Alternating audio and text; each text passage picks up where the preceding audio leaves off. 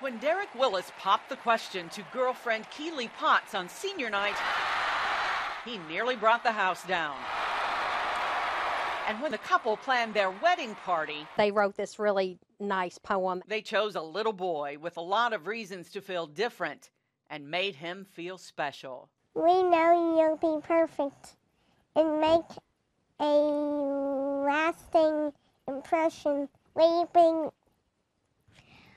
Leaping, leaping Rivera.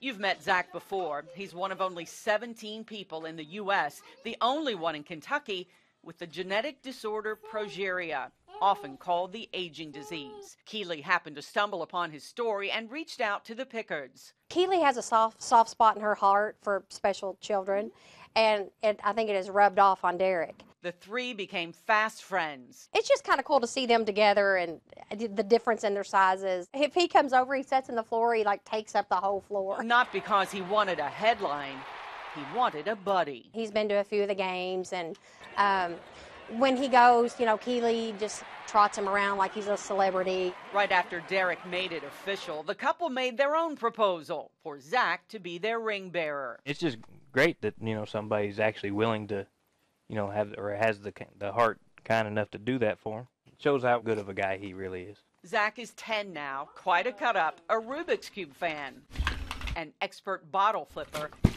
and part of a drug trial researching ways to fight the worsening and often debilitating effects of progeria. We are so lucky to have the Progeria Research Foundation because they're trying to find a cure. And a lot of rare diseases don't have that. Obviously, you don't expect to have to walk this road, but you know, I wouldn't ask for anything different.